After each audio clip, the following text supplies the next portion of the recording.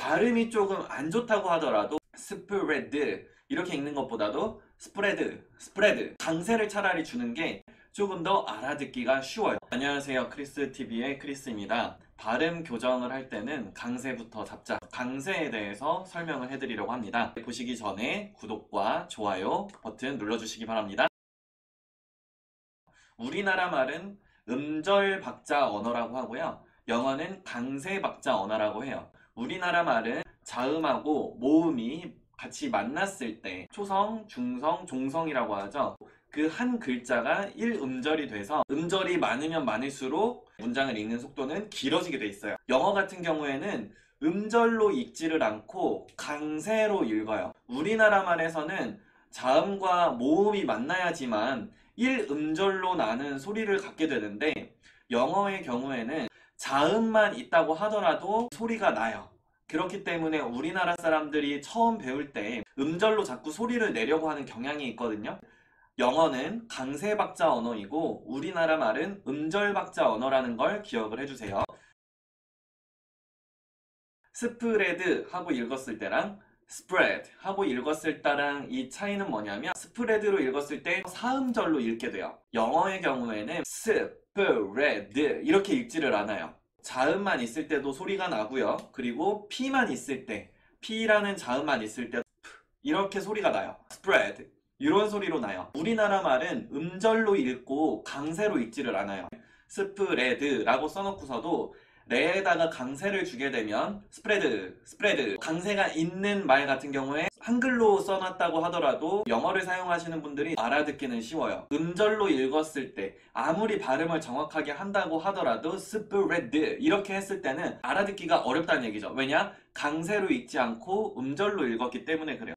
발음이 조금 안 좋다고 하더라도 스프레드 이렇게 읽는 것보다도 spread, spread 강세를 차라리 주는 게 조금 더 알아듣기가 쉬워요. 강세를 주어서 발음을 하는 연습을 꼭 해주세요. 그래서 사전을 보실 때도 눈으로만 보지 마시고 뭐 네이버나 다음 뭐 사전 같은 거 보시면 액센트 표시가 있고 듣기 버튼이 스마트폰으로도 보실 수가 있죠. 그 소리를 꼭 들어보시고 강세가 어디 있는지를 파악하시면서 읽어주세요. 유성음과 무성음이 있어요. 우리나라 말에서는 시옷 발음만 하실 수가 없고요. 뭐 티읕 발음만 하실 수가 없어서 스, 트 이런 식으로 으 소리라도 붙어서 나다 보니까 무성음이라는 개념을 우리가 알기가 좀 어려워요. 영어를 말씀하실 때는 성대의 울림이 있느냐 없느냐의 차이에 따라서 유성음과 무성음이 나뉘어요. spread 이 발음에서도 s, p, 요 발음은 무성음이에요.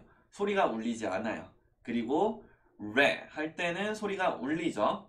d 할 때도 소리가 살짝 울리지만 거의 강세가 없기 때문에 D 발음은 느 하는 정도로 아주 약하게 발음이 돼요. 그래서 spread 이렇게 발음이 돼요.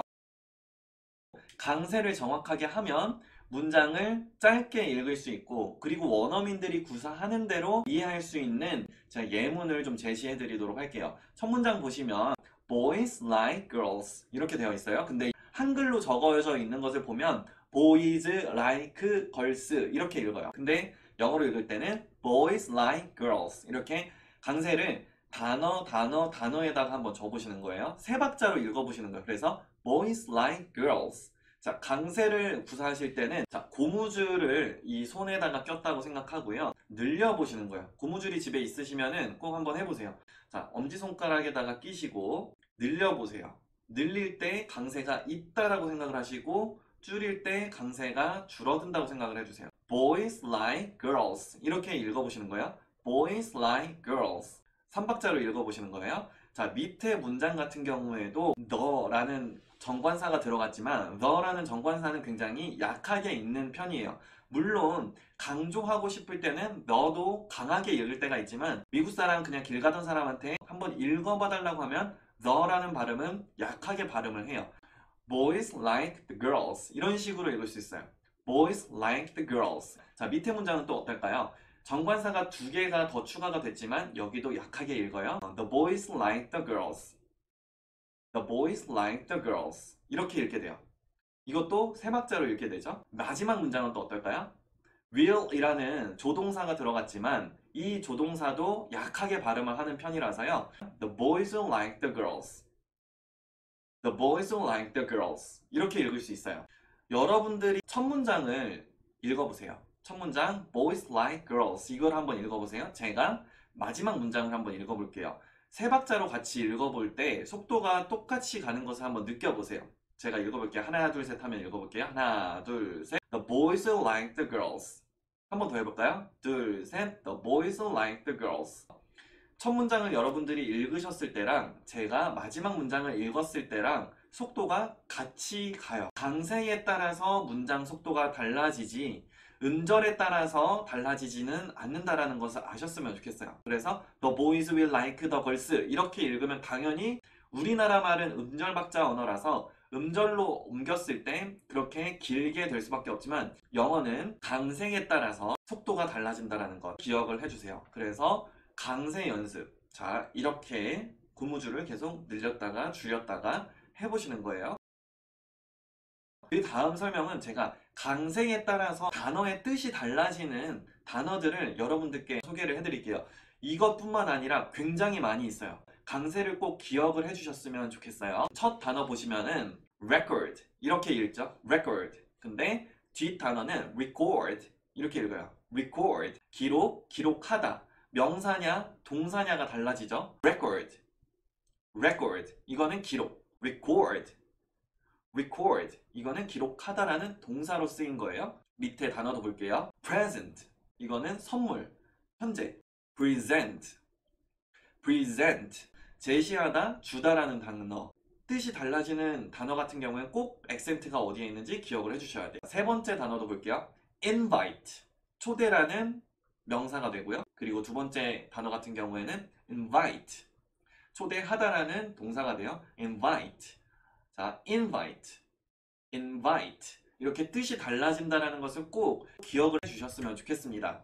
그래서 정리를 하자면 우리나라 말은 첫 번째로 음절 박자 언어이고 영어는 강세 박자 언어라는 거. 영어에는 무성음과 유성음이 있어요. 우리나라 말은 유성음화돼서 모든 단어들을 이야기를 하지만 영어의 경우에는 성음과 무성음을 구분해서 강세를 주어서 말을 구사한다라는 것을 기억을 해주세요. 세 번째, 강세 때문에 연음이 생겨요. 강세와 연음은 같이 간다라는 것을 기억을 해주세요. 발음을 이해하는 데 시작은 강세가 있다라는 것부터 이해를 해주시기 바랍니다. 네 번째, 같은 철자이지만 액센트 때문에 뜻이 달라진다라는 것 꼭 기억해 주세요. 여러분들께 발음 교정을 할 땐 강세부터 꼭 잡으라고 말씀을 드렸습니다. 또 더 좋은 영상들로 찾아뵙도록 하겠습니다. 구독과 좋아요 버튼 꼭 눌러주시기 바랍니다. 감사합니다.